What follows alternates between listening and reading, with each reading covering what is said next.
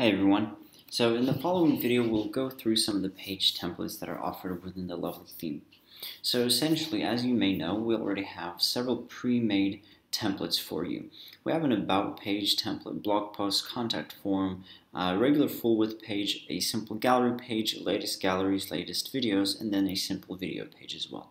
So we'll just go through all of these page templates and briefly explain what some of your options are for customizing them.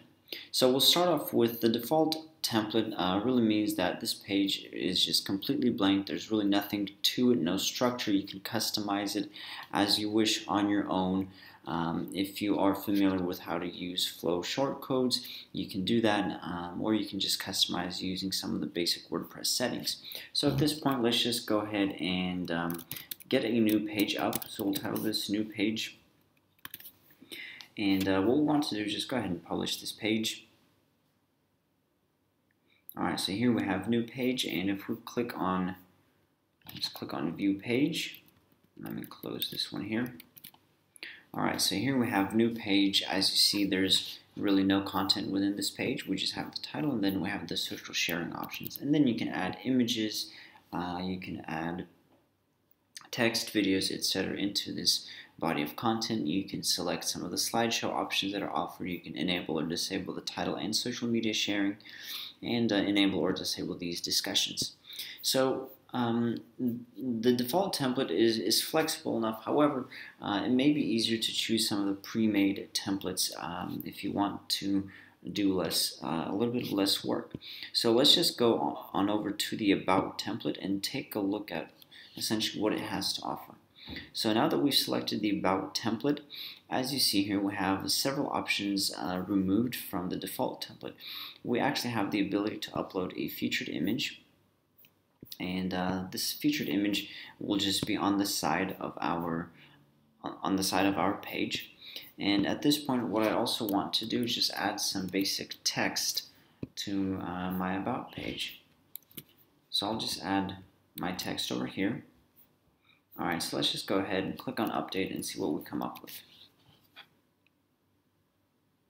Alright, so as you see here, I have my featured image, I have my page title, and then I have this text over here. Now further down below, we have several other options. We can enable or disable this page title, which at this point I want to leave this, but I want to disable my social media sharing. Uh, next off, I also want to disable my discussions because it's not necessary to have them on the About page. I'll close these revisions as well. And then we also have uh, this sidebar area, which is related to this area over here. Now what this does, it gives you the ability to write some short brief information and link a button to it. So for example, um, I'll just write here, um, connect via Facebook. Alright, so now I want to add the link for my button, and this will be just the default link from Facebook. And then I want to add a short description. So at this point, what I want to do is just copy and paste this text that I used over here. But it'll be a shortened version of it. Alright, and let's just go ahead and click on update and see what we come up with now. Alright, so as you see here, our page changed slightly. We still have this featured image. We have the page title, we have this description, but then we also have a short text, and then we have this button over here where it says connect via Facebook. So once we click on this button, it takes us to Facebook. So these are some of the customizations you have for the About page. Alright, so let's head on over to a different page template, and this will be blog posts. So essentially blog posts is really just a page that displays your latest blog posts. Um, as we went over some of the blog post settings uh, within the blog post video settings, uh, you can take a look at that video. It'll be in the video description below, and uh, we'll just uh, we just we just talk a little bit more about some of the settings offered for the blog post. But essentially, to give you a brief understanding, if we'll click click on update, we'll refresh this page you'll see that our page loads every single blog post that we've uploaded to the website so far. Of course, we have to customize it by choosing its layouts and so forth. And you have some of these options over here. For example, just like a basic grid view. And then you can click on update. We'll refresh this. And here we have a grid view. But as I mentioned, other options for the blog post or for the blog page settings can be done, uh, can be viewed at the video description below. You can have that link over there. Alright, so next off, our next page will be a simple contact form. So let's just go ahead and click on update and see some of the options we have for our contact form. So let's just refresh this page. All right, so now the now we need to add content for our contact form. So essentially, one, as soon as we switch over to the contact form template, we still have the ability to showcase a slideshow. Um, if that would be required, we have the ability to adjust our navigation menu, whether it be below or under the slideshow. And then we have our contact form information. So let's just type in our contact form email, and this will be info at flothemes.com contact phone. We'll just add these number over here. Contact form title, um, let's just um, title this as some title.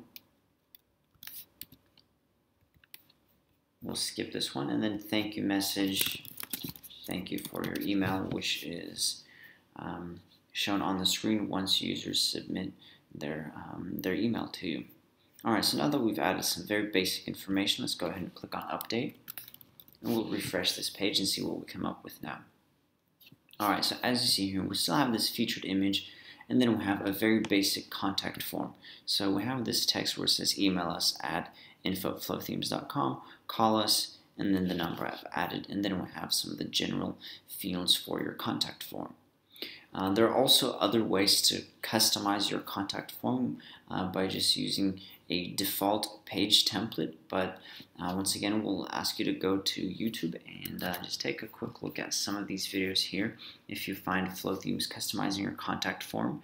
And then we also have another video with a visual form builder that also explains the process of how to customize your contact form. But I will send you these links um, also within the video description below. Alright, so let's head on over to a different page template and we'll just take a look at the full width page and see what it really looks like. So we'll click on update, we'll go here, refresh this page again. So as you see here, full width page, uh, the page really expands from one side of the screen to the other. If, uh, for, if we want to add text to this page, we'll just take a quick look at what it looks like here. So as you see here, we have this image and then we have some basic text. So uh, this page can have its purposes if that would be required.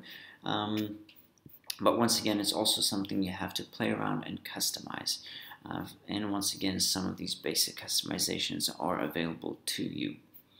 All right. Uh, so next off, let's just head on over to our gallery page. And at this point, for the gallery page, we want to remove this featured image and um, we want to also remove this page and let's click on update.